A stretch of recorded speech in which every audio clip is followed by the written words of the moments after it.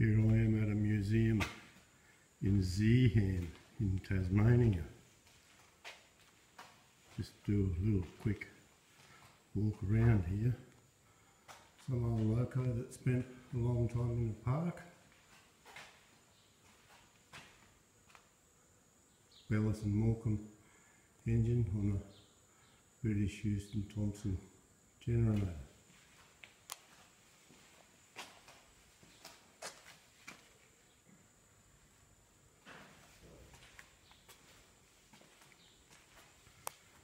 Good old welder those. Some more stuff here. Crushes. Looks like Ronaldson Tippett maybe. There we go. More stuff. Another thing here, big McLaren generator. More stuff. Looks like Perkins over there, maybe. On that generator.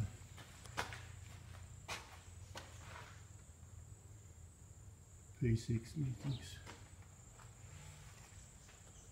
Mm.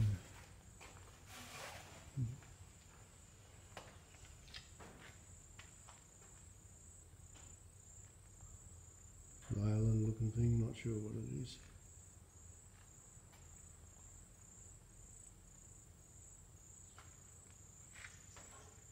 There we go.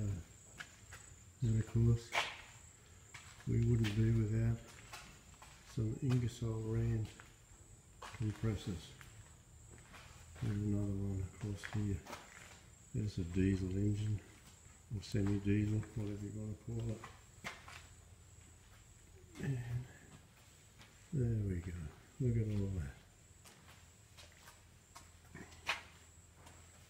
And we wouldn't be without a Jaques crusher.